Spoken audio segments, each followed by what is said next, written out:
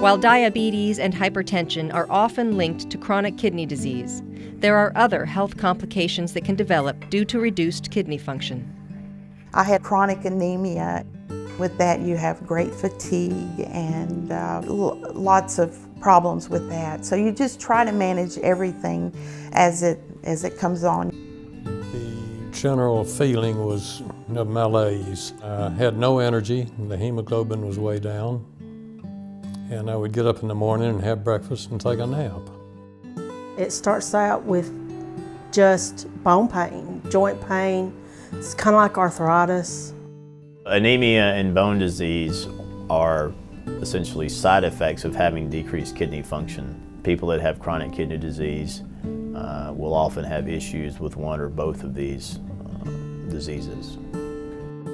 Reduced kidney function can result in a decreased amount of red blood cells. This condition is called anemia. People can often feel fatigued if they have a lower hemoglobin or if they are anemic because they essentially just have less oxygen carrying capacity.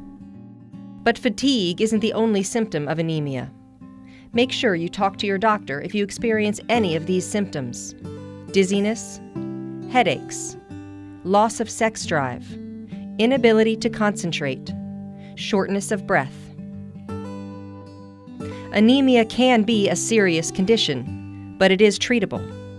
There are um, erythropoietin uh, agents that are used that can be given uh, currently in injection form. People often need supplemental iron to help as iron is a very important part of building red blood cells as well. In addition to anemia, CKD patients often suffer from bone disease, which can cause bone brittleness and pain.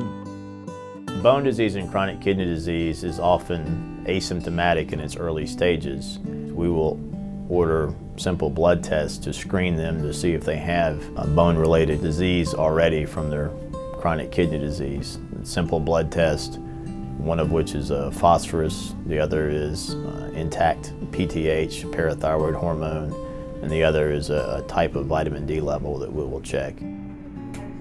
If testing determines abnormal levels of these substances, your healthcare provider may recommend several treatment options, including a low phosphorus diet, calcium supplements, vitamin D supplements, or medications called phosphate binders.